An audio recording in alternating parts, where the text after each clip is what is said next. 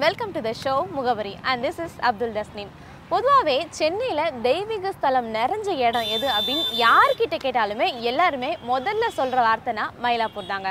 அந்த அளவுக்கு மயிலாப்பூரில் நிறைய தெய்வீக ஸ்தலங்கள் அமைஞ்சிருக்குன்னே சொல்லலாம். அது மட்டும் இல்லாமல் சாப்பாட்டுக்கு ஸ்பெஷலான ஒரு ஏரியானா அதுவும் மயிலாப்பூர் தான் சொல்லுவாங்க. சரி ஓகேங்க இன்றைக்கி நம்ம முகவரி நிகழ்ச்சியில் பார்க்க போகிற இடம் மயிலாப்பூர்.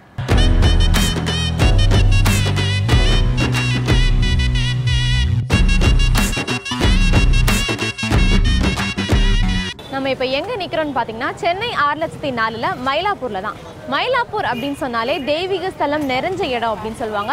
ஸோ நம்மளும் இப்போ ஒரு தெய்வீக ஸ்தலத்தில் தான் இருக்கோம். மயிலாப்பூர் கபாலீஸ்வரர் கோவில். இந்த கபாலீஸ்வரர் கோவிலோட ஹிஸ்ட்ரி என்னன்னு பார்த்தோன்னா இந்த கோவில் முதல்ல கடற்கரை பகுதியில் தான் இருந்திருக்கு.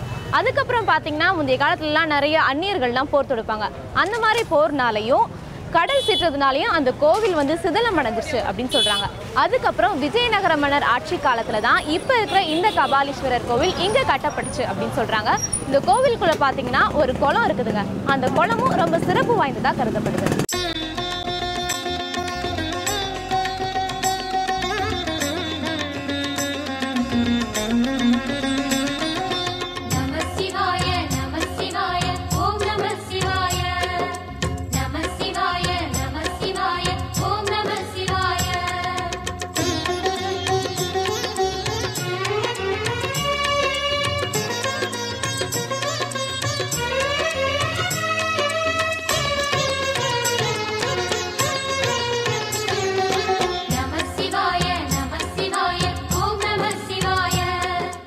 இந்த இடம் ஏன் மயிலாப்பூர் அப்படின்னு அழைக்கப்படுறதுக்கு ஒரு காரணம் சொல்கிறாங்கங்க அதாவது பார்வதி அம்மா வந்து மயில் அவதாரத்தில் சிவன் கிட்ட தவம் இருந்ததுனால தான் இந்த இடம் மயிலாப்பூர் அப்படின்னு அழைக்கப்படுது அப்படின்னு சொல்லப்படுது. சரி ஓகேங்க. இந்த கோவிலோட ஹிஸ்ட்ரி என்ன அப்படின்னு பார்த்தோன்னா இந்த இந்த கோவிலில் வந்து சிவஞான போதர் அப்படின்னு இருந்திருக்காரு. அவருக்கு ஒரு மகள் இருந்திருக்காங்க. அவங்க பேர் பூம்பாவை.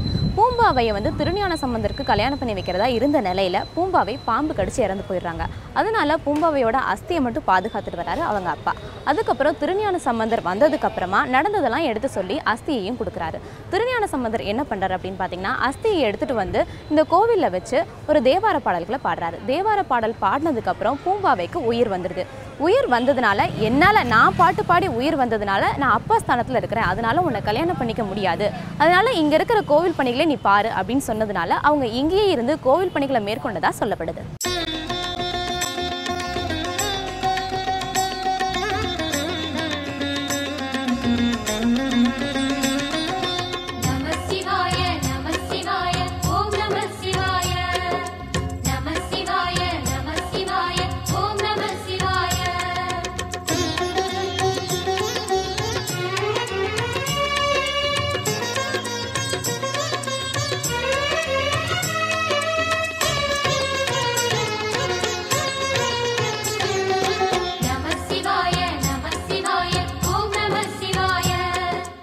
ஓகேங்க நம்ம இன்னைக்கு சென்னை ஆறு லட்சத்தி நாலில் மயிலாப்பூரில் இருக்கிற கபாலீஸ்வரர் கோவிலோட ஹிஸ்ட்ரியை பற்றி பார்த்தோம். அதோட சிறப்புகள் பற்றியும் பார்த்தோம். அது மட்டும் இல்லாமல் மயிலாப்பூரில் ரோஸ் மில்க் ஷாப் ரொம்ப ஃபேமஸ் அப்படின்னு சொல்கிறாங்க நான் அந்த ரோஸ் மில்கை கண்டிப்பாக டேஸ்ட் பண்ணியே ஆகணுங்க. ஆனால் அந்த ரோஸ் மில்க் எங்கே இருக்குது? அப்படி அந்த ரோஸ் மில்க் கடை எங்கே இருக்குதுன்னு எனக்கு தெரியாது.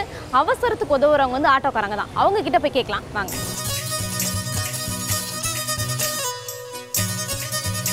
ஆனால் இங்கே ரொம்ப ஃபேமஸான ரோஸ் மில்க் ஷாப்னு சொல்லுவாங்களா அது எங்கே அது லெஃப்ட்டில் கார்னர் அந்த தென்னை மரம் இருக்குதுல்ல ம். ஓகேண்ணா தேங்க்யூ ஓகேங்க சொல்லிட்டாங்க ரோஸ் மில்க் ஷாப் எங்கே இருக்குன்னு நமக்கு தெரிஞ்சு போச்சு. இப்போ நம்ம அங்கே போகலாம் வாங்க.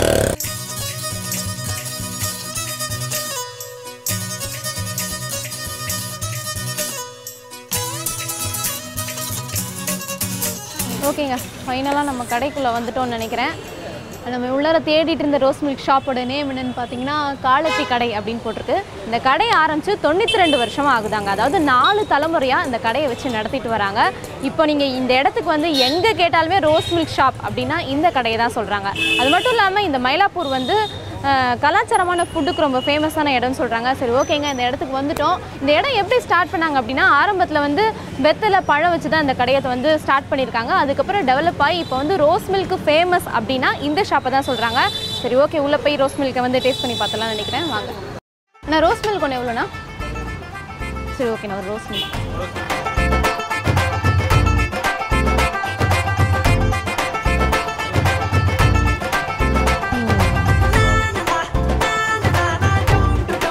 ரொம்பவே அருமையாக இருக்குதுங்க ரோஸ் மில்க். இப்போ தான் தெரியுது ஏன் இந்த இடத்துல ரோஸ் மில்க் இவ்வளோ ஃபேமஸ் அப்படின்னு சொல்கிறாங்க ரொம்ப நேச்சுரலாக இருக்குது.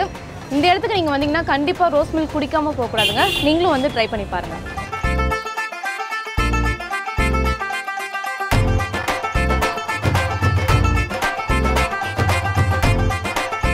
உங்கள் பேர் சார் டேவிட். டேவிட் ஓகே நீங்கள் இந்த ஏரியா தானா? தெரியாது ஸோ இங்கே தான். எப்போவுமே ரோஸ் மில்க் குடிக்க வருவீங்க ஆமாம் இந்த பக்கம் நான் வரும்போது இங்கே தான் ரோஸ் மில் குடிப்பேன். இங்கே ரோஸ் மில் நல்லாயிருக்கும் மற்ற இடத்துல சாப்பிட்றது இங்கே ரொம்ப நல்லாயிருக்கும் அதனால இங்கே வந்து சாப்பிட்டு போவோம் சரி ஓகே சரி.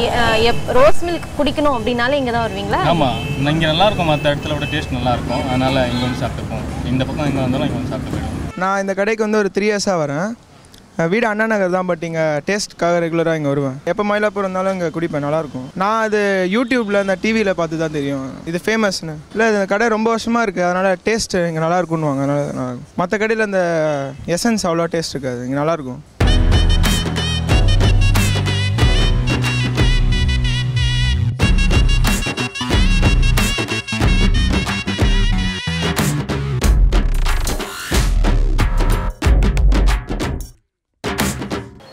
நம்ம அடுத்ததா மயிலாப்பூர் ஸ்பெஷல்ல எந்த இடத்த பத்தி பார்க்க போறோம்னு பாத்தீங்கன்னா காமாட்சி உணவகம். காமாட்சி உணவகமா? மயிலாப்பூர்லையா? அப்படிலாம் எதுவும் ஸ்பெஷல் இல்லையே அப்படின்னு தானே நினைக்கிறீங்க?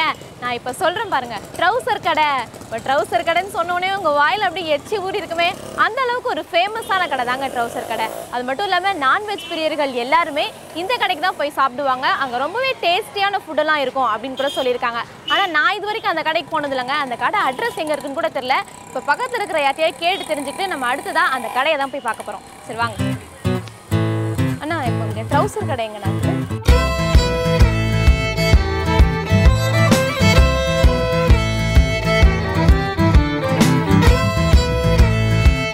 சரி ஓகேங்க இப்போ நம்ம அந்த காமாட்சி மெஸ் அதாங்க அந்த ட்ரௌசர் கடையை நோக்கி தான் பயணிச்சுக்கிட்டு இருக்கிறோம். இந்த ஏரியா பார்த்தீங்கன்னா ரொம்பவே ரஷ்ஷாக இருக்குதுங்க. எல்லா இடத்துலையும் கூட்டம் கூட்டமாகவே நின்றுட்டு இருக்கிறாங்க. அது மட்டும் இல்லாமல் இந்த ஏரியா ரொம்ப க்ளீனாக இருக்குது. பார்க்கவே எனக்கு இந்த ஏரியா ரொம்ப பிடிச்சிருக்கு. அது மட்டும் இல்லாமல் இன்னைக்கு காலையிலே சொல்லிட்டாங்களா ட்ரௌசர் கடைக்கு போகிறேன்னு சொல்லிட்டு அதனால் காலைல சாப்பாடு சாப்பிடாம வந்துட்டாங்க. வேற ரொம்ப டேஸ்டியான ஃபுட்டுலாம் இருக்குன்னு சொல்லிட்டாங்க. அதனால் என்ன பண்ணிட்டேன் இன்னைக்கு காலைல சாப்பிடல. இன்னைக்கு மதியானம் வந்து லஞ்ச் அங்கே தான் அங்கே போய் நம்ம என்ன பண்ணுறோம் ஒரு கட்டு கட்டுறோம். அது மட்டும் இல்லாமல் அங்கே இருக்கிற ஸ்பெஷல் பற்றியும் நம்ம கேட்டு தெரிஞ்சுக்கிறோங்க.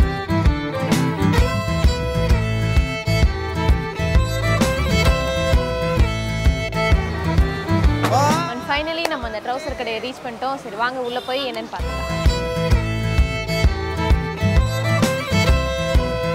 ஃபைனலி நம்ம வந்து இந்த ட்ரௌசர் கடை அதாங்க அந்த காமாட்சி மிஸ்ன்னு சொல்கிற ட்ரௌசர் கடையை ரீச் பண்ணிட்டோம். உள்ளே வரும்போதே அப்படியே கம கம கமன்னு மணக்குதுங்க. அப்படியே பசி எடுக்குது லைட்டாக போய் சாப்பிடணுன்ற எண்ணெல்லாம் இருக்குது. சரி ஓகேங்க. இந்த ட்ரௌசர் கடையில் என்னெல்லாம் ஸ்பெஷல் அப்படின்னு கேட்டு தெரிஞ்சுக்கிறத விட ஃபஸ்ட்டு உள்ளே போய் என்னன்றதை பார்த்து தெரிஞ்சுக்கலாம் வாங்க.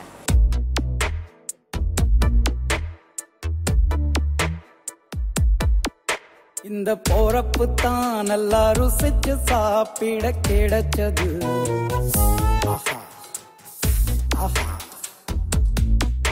அத நினைச்சு தான் மனோ உலகம் முழுவதும் பருக்குது அட சுட சுட அட சுட சுட அந்த மதுரம் மல்லிப்பூ இட்லியே. ஃபைனலாக பார்த்தீங்கன்னா இங்கே பார்க்கும்போதே உங்களுக்கு தெரிஞ்சிருக்கும் நம்மலாம் கேஸ் அடுப்பு இண்டக்ஷன் அப்படின்னு சொல்லி முன்னேறிட்டு போயிட்டு இருக்கோம் இங்கே பார்த்தீங்கன்னா இன்னும் விறகுல சமைச்சிட்டு இருக்காங்க. அதனால தான் இந்த கடையிலோட டேஸ்ட் இன்னும் மாறாமல் இருக்குது அப்படின்னே சொல்லலாம். என்னதான் இண்டக்ஷன் கேஸ் அதில் சமைச்சாலும் அந்த விறகடுப்பில் சமைக்கிற ஒரு டேஸ்ட் இருக்குதே. அது எங்கேயாவது வருங்காங்க எங்கேயுமே வராது. அது மட்டும் இல்லாமல் நம்ம என்டர் ஆகும்போதே பார்த்தோம். உங்கள் அம்மியில் மிளகு சீரகம்லாம் அரைச்சிட்டு இருந்தாங்க. என்னதான் நம்ம மிக்சியில் அரைச்சாலும் அந்த மிளகு சீரகத்தை அம்மியில் அரைச்சி ஒரு ரசம் வச்சா அந்த டேஸ்ட்டுக்கு ஈடாகுமாங்க? சரி ஓகே இங்கே பாருங்க எல்லாம் அப்படியே தயார் நிலையில இருக்குது. இது என்னது தாத்தா? ஓ இந்த இந்த கடையில் ரொம்ப ஃபேமஸான ஒன்றுனா கோலா உருண்டை அப்படின்னு சொல்லுவாங்க. அந்த கோலா உருண்டைக்கு தான் மட்டன் வந்து ப்ரிப்பேர் ஆயிட்டு இருக்குது. அடுத்தது இங்கே பார்த்தீங்கன்னா கறிக்குழம்பு. எறா தொக்கு அண்டு இங்கே வேறு ஏதோ ப்ரிப்பேர் பண்ணி வச்சுருக்காங்க. எல்லாம் வந்து ரெடி ஆகிட்டே இருக்குது. பன்னெண்டு மணிக்கு எல்லாம் ரெடி ஆகி சாப்பிட வரவங்களுக்கு எல்லாத்தையும் தயாராக்கிக்கிட்டு இருக்காங்க.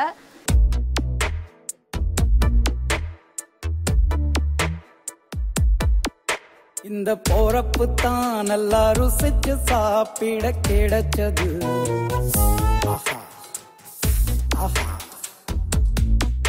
அத நினைச்சு தான் மனோ உலகம் முழுவதும் பருக்குது இந்த கடைக்கு இந்த தாத்தா தாங்க ஒரு சூப்பர் ஹீரோன்னு சொல்லலாம். ஏன்னா இங்க பாருங்களேன் மூணு அடுப்பு இருக்கு லெஃப்ட் ரைட்டு சென்டர்னு மூணுத்தையும் இவரே ஒரு ஆளா நின்று ஒன் மேன் ஷோவாக மேனேஜ் பண்ணிட்டு வந்துட்டு இருக்காரு அது மட்டும் இல்லாமல் இந்த வயசுலயும் இவ்வளோ சுறுசுறுப்பாக இருக்காருங்க. இப்போ இருக்கிற வில்லத்தரசிங்கெல்லாம் பார்த்தீங்கன்னு வச்சுங்களேன் ஒரு அடுப்பில் நின்று வேலை செஞ்சுட்டு கை வலிக்குது கால் வலிக்குதுன்றாங்க. ஆனால் இங்கே பார்த்தீங்கன்னா மூணு அடுப்பை ஒரே ஆளாக தனியாக நின்று அழகாக மேனேஜ் பண்ணிட்டு இருக்காரு இந்த வயசுலேயும் இவ்வளோ சுறுசுறுப்பாக இருக்கிறாரு அப்படின்றது வந்து நம்மளுக்கு பார்க்கவே ரொம்ப வியப்பாக இருக்குது. கிச்சனில் ஒரு தனி அரசாங்கமே பண்ணிட்டு இருக்காரு அப்படின்னே சொல்லலாங்க. ஒன்றும் இல்லைங்க. ஒரு ஒரு நிமிஷம் அவர் என்ன பண்ணுறாருன்றதை மட்டும் நோட் பண்ணுங்க. அங்கேயும் இங்கேயும் சுறுசுறுப்பாக வேலை பண்ணிட்டே இருக்காரு. என்ன பண்ணுறாருன்னு மட்டும் இது பாருங்களேன்.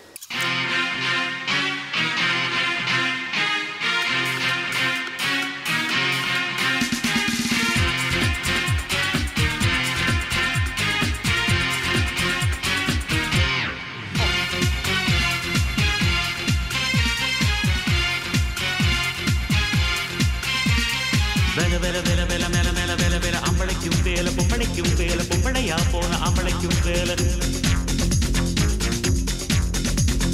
கலமரமான கலமர எத்தனையோ வேல எப்பவுமே வேலை. அத்தனைக்கும் உண்டு வெற்றி எனும் மாலை. இப்போ நீங்கள் பார்த்த ஒரு ஒரு நிமிஷத்துலேயே தெரிஞ்சிருக்கும் அவர் எவ்வளோ சுறுசுறுப்பாக இருக்கார் அப்படின்னு சொல்லிட்டு இங்கே பாருங்கள் அந்த ஒரு நிமிஷத்துலேயே இங்கே பாருங்கள் எறா ரெடி ஆயிடுச்சு இங்கே மட்டன் சுக்கா ரெடி ஆயிட்டு இருக்கு இங்கே பார்த்தீங்கன்னா சொராப்புக்கு ரெடி பண்ணி சொரா போட்டு ரெடி பண்ணிட்டு இருக்கிறாரு இங்கே வந்து மட்டன் குழம்பு கொதிச்சிட்டு இருக்கு அந்த சைடில் ஏதோ ரெடி ஆகிட்டு இருக்குங்க அது மட்டும் இல்லாமல் அந்த சைடில் பார்த்தீங்கன்னா வஞ்சர மீனை வறுத்துட்டு இருக்காங்க இவர் மட்டும் இல்லாமல் இங்கே வேலை செய்கிறவங்களும் ரொம்ப சுறுசுறுப்பாக ஆர்வமாக வந்து வேலை செஞ்சுட்டு இருக்காங்க சரி கொஞ்சம் நீங்கள் அவங்களையும் போய் பார்த்துட்டு வாங்க.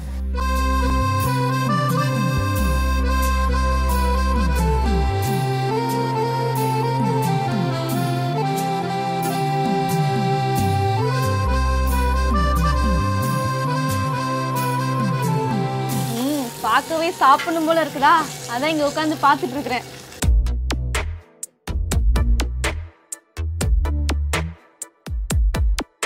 இந்த போறப்பு தான் நல்லா ருசிச்சு சாப்பிட கிடைச்சது.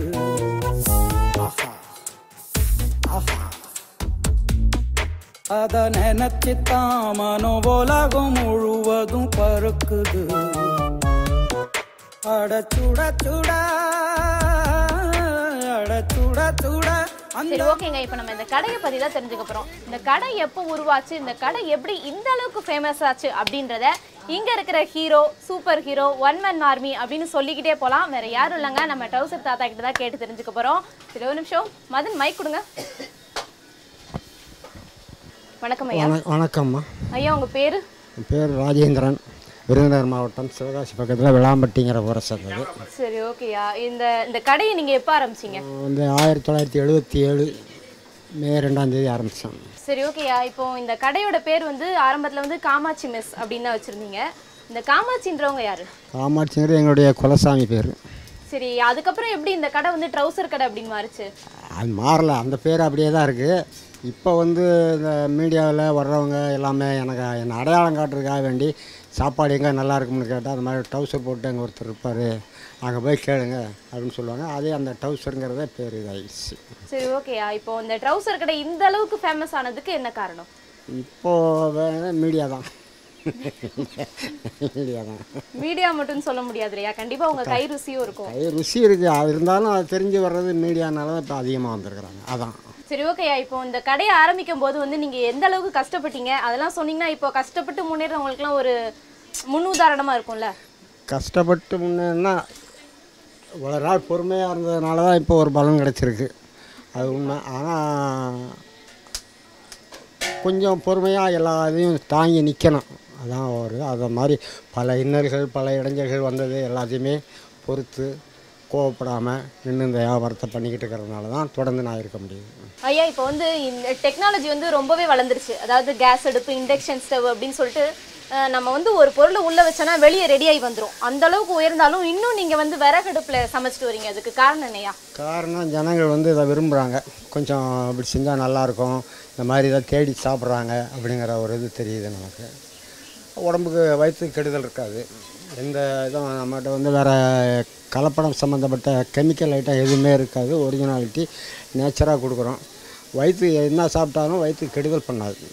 அது ஒரு முக்கியமான காரணம். சரி ஓகே இன்றைய நாளில் வந்து நாங்கள் உங்களை சந்திச்சதுல ரொம்பவே சந்தோஷமா ஃபீல் பண்ணுறோம் அது மட்டும் இல்லாமல் நீங்கள் இன்னும் மென்மேலும் வளரணும் அப்படின்னு சொல்லிட்டு கேப்டன் டிவி சார்பாகவும் எங்கள் முகவரி குழு சார்பாகவும் நாங்கள் உங்களை வாழ்த்துறோம் நன்றி நன்றி. நன்றி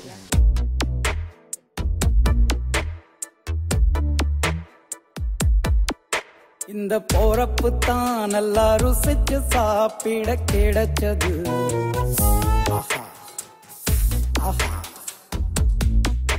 அத நினைச்சு தாமனோ மனோ உலகம் முழுவதும் பருக்குது அட சுட சுட அட சுட சுட.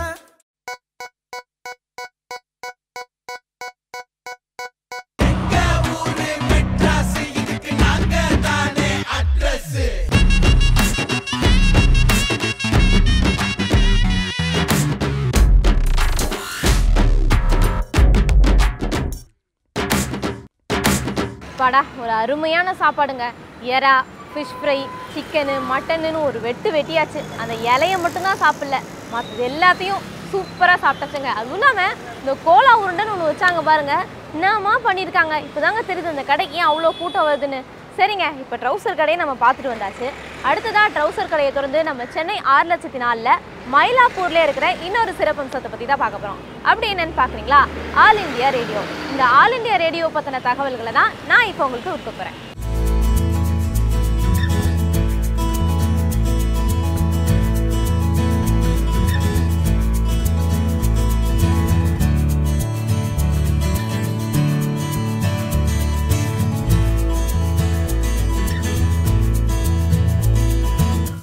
சென்னை நாளில் நம்ம இப்போ எங்கே இருக்கிறோம் அப்படின்னு பார்த்தீங்கன்னா அதாவது எந்த ஒரு சின்ன சின்ன தகவல்னாலும் சரி ஒரு புதுசாக ஒரு தகவல் ஒரு நாளைக்கு மழை பெய்யுமா இல்லை வெயில் அடிக்குமா அப்படின்ற விஷயம் ஒரு சின்ன விஷயம் தெரிஞ்சுக்கணும் அப்படின்னா கூட முந்தைய காலத்துலலாம் இந்த ரேடியோ வச்சு தான் வந்து தெரிஞ்சுக்கிட்டாங்க. ஸோ நம்ம இப்போ எங்கே நிற்கிறோம் அப்படின்னு பார்த்தீங்கன்னா ஆல் இண்டியா ரேடியோ சென்னை. அந்த இடத்துல தான் இருக்கிறோம். இந்த ஆல் இண்டியா ரேடியோ இந்தியாவில் எப்போ வரப்பட்டுச்சு அப்படின்ற ஹிஸ்ட்ரிலாம் பார்க்க போனோம்னா ஆரம்பத்தில் வந்து இந்தியாவில் டெல்லி பாம்பே கல்கத்தா இந்த மூணு இடத்துல தான் ஆல் இண்டியா ரேடியோ இருந்துச்சு. அதுக்கப்புறம் எயிட்டீன் தேர்ட்டி எயிட்டில் தான் சென்னையில் கொண்டு வரப்பட்டுச்சு அப்படின்னு சொல்கிறாங்க அப்போ கூட எக்மோரில் தான் இது இருந்ததாகவும் அதுக்கப்புறம் இங்கே இடமாற்றம் செய்யப்பட்டதாகவும் சொல்கிறாங்க அதாவது என்னதான் நம்ம தொலைத்தொடர்பில் முன்னேறி இருந்தாலும் ஒரு ஃப்ளட்டு சமயத்துலேயோ மழை காலத்துலேயோ வெள்ளம் காலத்துலேயோ இந்த மாதிரி தொலைத்தொடர்பு துண்டிக்கும் போது ரேடியோ தான் நமக்கு ரொம்ப வந்து யூஸ்ஃபுல்லாக இருக்குது.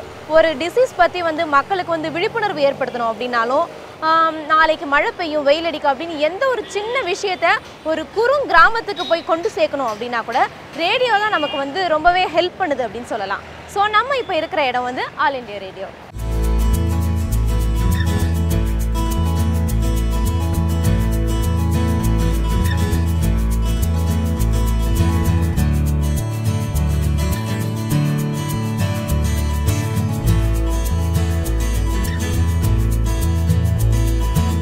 ஓகேங்க மீண்டும் அடுத்த வாரம் நம்ம முகவரி நிகழ்ச்சியில் சென்னை ஆறு லட்சத்தி நான்கு பற்றி பார்க்கலாம். என்னடா இது திருப்பி அடுத்த வாரமும் சென்னை ஆறு லட்சத்தி நாலுன்னு பார்க்குறீங்களா? சென்னை ஆறு லட்சத்தி நாலு ரொம்ப பெரிய பிளேஸாக இருக்கிறனால அது ஒரு எபிசோடோட முடிக்க முடியலங்க.